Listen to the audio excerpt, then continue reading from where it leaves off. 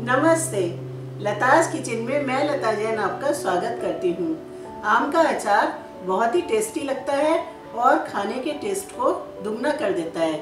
लेकिन कोई भी अचार डालने के लिए समय चाहता है और कई दिन बाद वो खाने लायक होता है।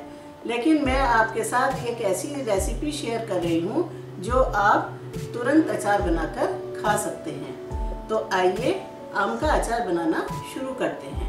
मेरी नई रेसिपीज़ पाने के लिए मेरे चैनल को सब्सक्राइब कीजिए और बेल का बटन दबाइए।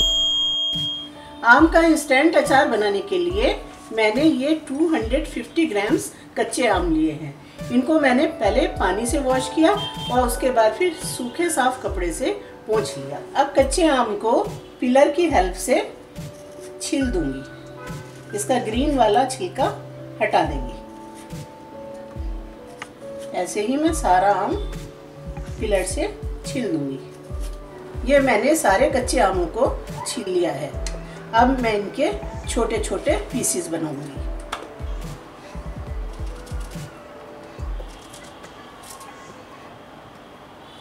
इसका बीज का ये सीड निकाल देंगे।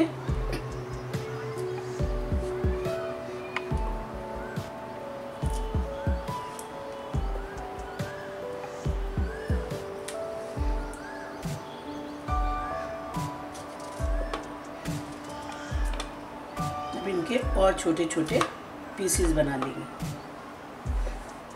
वैसे आप अपने मनचाहे आकार के पीसेस काट सकते हैं। ऐसे ही हम सारे कच्चे आमों के पीसेस बना लेंगे। अब एक नॉन स्टिक पैन लेंगे। पैन के नीचे गैस ऑन करेंगे और पैन में two tablespoon mustard oil डालेंगे। ऑयल को बहुत अच्छी तरह गर्म होने देंगे। ऑयल गर्म हो गया है, अब हम गैस ऑफ़ कर देंगे। अब इसमें हम एक चुटकी हींग पाउडर डालेंगे। हींग का टेस्ट अचार में बहुत अच्छा लगता है।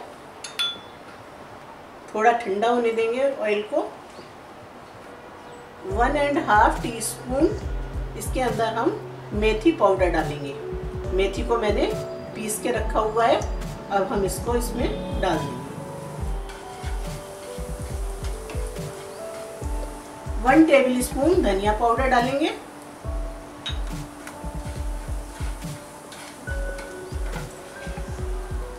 One and half tablespoon सौंफ पाउडर डालेंगे। ये सौंफ पाउडर दरदरा पिसा हुआ है।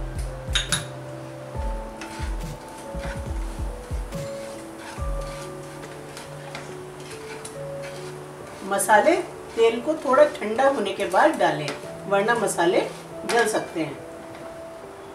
अब इसमें वन बाई फोर टीस्पून हल्दी पाउडर डाल देंगे। टू टीस्पून सॉल्ट डालेंगे या अपने टेस्ट के अकॉर्डिंग डालेंगे।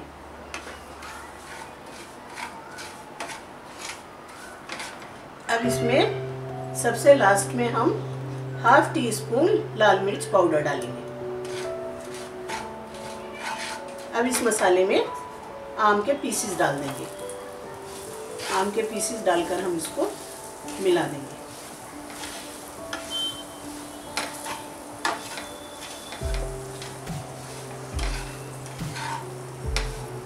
अब पैन के नीचे गैस ऑन करेंगे।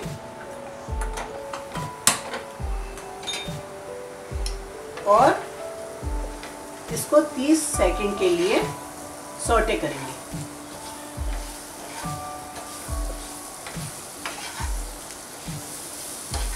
आम के पीसीस के ऊपर मसाला अच्छी तरह से कोट हो गया है।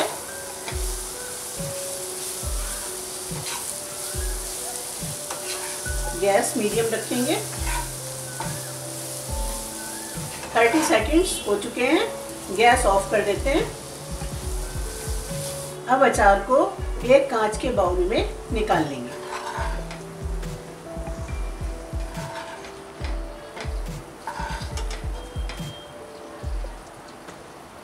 आम का इंस्टेंट अचार बनकर तैयार है। इसको आप ठंडा होने के बाद किसी ग्लास की बाउल में रखकर फ्रिज में स्टोर कर सकते हैं और 15-20 दिन खा सकते हैं। ये अचार बहुत ही टेस्टी लगता है। इसे आप रोटी, पूरी, पराठा, चावल कभी भी किसी चीज़ के साथ भी खा सकते हैं। और ये अभी से हम इस अचार को खाना शुरू कर सकते हैं। आम का इंस्टेंट अचार देखने के लिए धन्यवाद।